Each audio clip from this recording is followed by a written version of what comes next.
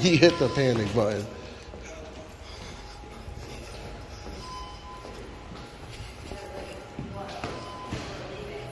Huh? No, It's because he didn't get his way, like a whiny little crybaby. That's how you get treated here in Elmira.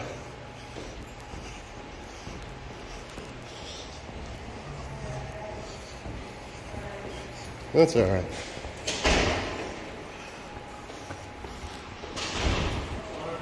Oh, the, the mayor guy's all cranky because he didn't get his way.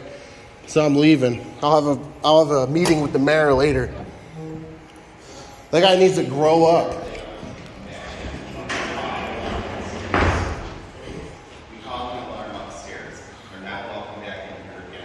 So you're gonna trespass me from a building because you didn't like the way the things went? Okay, that's fine.